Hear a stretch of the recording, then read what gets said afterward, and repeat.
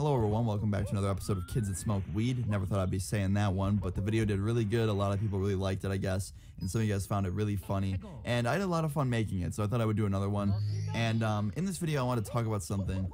Um, basically, people were saying that they've never even seen these kids before. Someone was like, "Oh, I've never had to deal with anyone like that." I'm sorry, dude. And a lot of you guys actually never have to deal with these kids, and I am very, very happy for you guys because I can't seem to fucking avoid them. Whether it's my town, through my friends, online, these motherfuckers are all over the place, and they just sit there and just use all forms of social media to make them like they make themselves look like even bigger douchebags than they already are.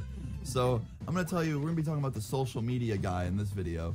So, in the last video, I talked about how the kids, you know, they sit there in the fucking in front of you and they pretend to be pros of fucking smoking weed, and then they end up looking like jackasses because they don't know what they're doing.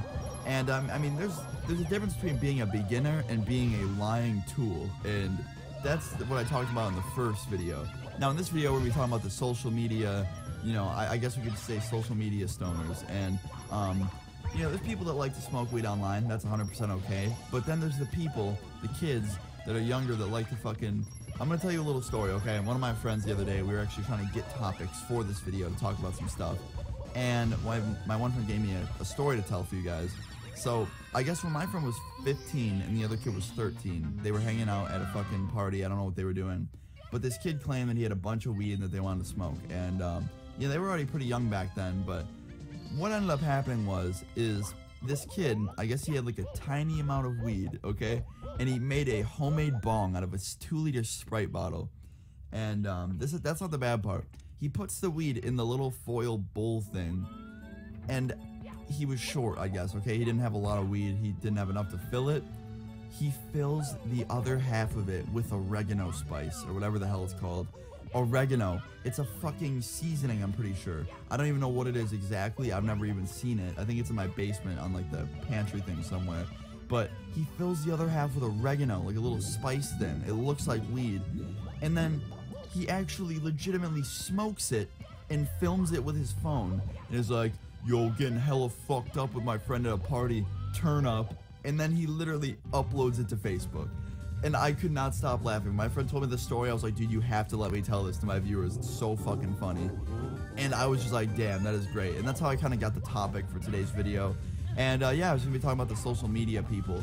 Um, the people that, you know, the, the young kids that like to fucking grab their fucking bong or their bowl or whatever they have, take one hit for the iPhone camera and then upload it to Snapchat, Twitter, Vine, fucking Facebook, every social media platform, fucking Beam, you know, fucking eBay, you know, I don't even care. Any app ever. They just upload it to all social media platforms to look cool. And um, yeah, that's what I wanted to talk about in this video.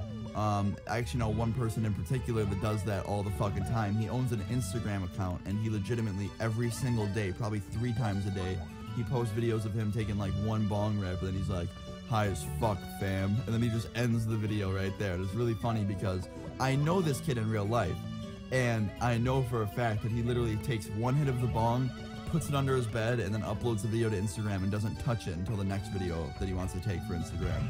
So yeah, I want to talk about those people. And once again, guys, I'm not attacking anybody that you know posts a video of themselves, you know, smoking or doing anything online. That's you know, you're you have 100% the right to do that.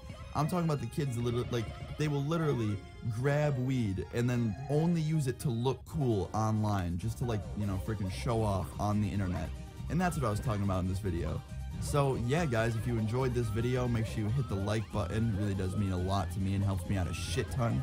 You guys are the best. I love you all so much. Leave a comment below of what you think of these kids below. I'll see you all later. Peace. Alright, so before I start this video, I just want to get a point across real quick. Um, I am not talking about, in this video, the kids that smoke weed because they enjoy it or because they enjoy the effects of it. That is 100% okay. Um, I am just talking about in this video the kids that smoke weed to look cool. And I just really wanted to talk about this. I thought it was the funniest thing ever because I woke up this morning and I was thinking about my friend. I had this friend from a few years back who was the biggest, just biggest douchebag because he would literally smoke weed to try and look cool. And he did it wrong and he just looked like a complete tool. And I'm going to tell you about him. So, years ago, I met this kid in middle school, okay?